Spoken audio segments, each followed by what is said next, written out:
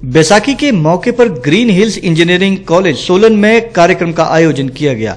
कार्यक्रम में सामाजिक न्याय एवं अधिकारिता मंत्री राजीव सैजल बतौर मुख्य अतिथि शामिल हुए, जिनका कॉलेज पहुँचने पर फूल मालाओं के साथ जोरदार स्वागत किया गया। कार्यक्रम का शुभारंभ राजीव सैजल ने बैसाखी का केक काट कर किया। कार्यक्रम के दौरान विद्यार्थियों ने आकर्षक नृत्य प्रस्तुत किए। वहीं युवतियों ने रैंप वॉक में बढ़ चढ़कर भाग लिया, जिसका उपस्थित जनसमूह ने जमकर लुत्फ भी उठाया। वहीं मुख्य अतिथि ने शिक्षा और खेल में अव्वल रहने वाले विद्यार्थियों को सम्मानित भी किया।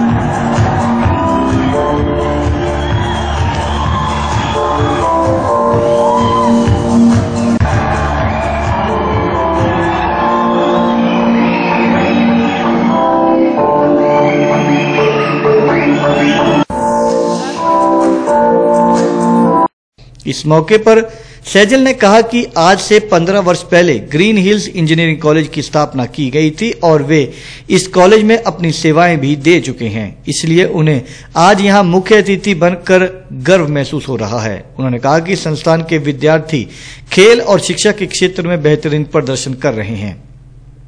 ग्रीन हिल्स इंजीनियरिंग कॉलेज के पंद्रहवें वार्षिक उत्सव में मुझे यहाँ पर आकर के बहुत हर्ष हुआ। ये हमारे निर्वाचन क्षेत्र में अपने आप का पहला प्रकल्प था। पहला इंजीनियरिंग कॉलेज हमारे निर्वाचन क्षेत्र में, प्राइवेट सेक्टर में, और ये मेरी गृह पंचायत भी है। और मुझे भी इस संस्थान से जुड़ने का मौका मिला। बतौर मेडिकल ऑफिसर मैंने दो वर्ष यहाँ इस संस्थान में अपनी सेवाएँ दी। और इस संस्थान से छात्र शिक्षा ग्रहण करने के उपरांत बहुत सी मल्टीनेशनल कंपनीज़ में, प्रशासनिक सेवाओं में, सेना में अपनी सेवाएँ दे रहे हैं। और इस संस्थान के यहाँ आने से मैं ये बड़े दावे के साथ कह सकता हूँ कि हमारी जो यहाँ इस पंचायत की जो हमारी आर्थिकी है इवन हमारा जो हमारे जो आसपास के यहाँ पर जो छोटे छोटे जो मार्केट्स हैं उनको भी बहुत लाभ जो है उस संस्थान से आ, हुआ है। वहीं ग्रीन हिल्स इंजीनियरिंग कॉलेज के चेयरमैन कृपाल सिंह पसरीचा ने कहा कि वे वर्ष में बच्चों के सर्वांगीण विकास के लिए इस तरह के कार्यक्रम आयोजित करते रहते हैं और इन कार्यक्रमों में शिक्षा और खेल जगत में अच्छा प्रदर्शन करने वाले छात्र छात्राओं को सम्मानित भी किया जाता है और उन्हें भविष्य में भी बेहतर प्रदर्शन करने के लिए प्रेरित किया जाता है।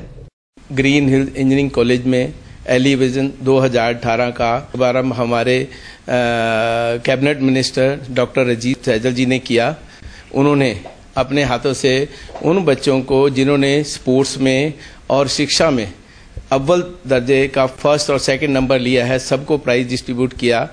तो हमारी भी यही कोशिश होती है कि हम इन जो बच्चे दूर दराज से भी आते हैं, काफ़ी अलग अलग स्टेट से भी आते हैं, उनको यहाँ अच्छा एनवायरनमेंट दें, यहाँ पर कुदरत का अच्छा एनवायरनमेंट है पढ़ाई करने के लिए, खेलने के लिए, और सभी तरह की उनकी जितनी भी प्रतिभाएँ हैं, उनको उज्जवल करने के लिए।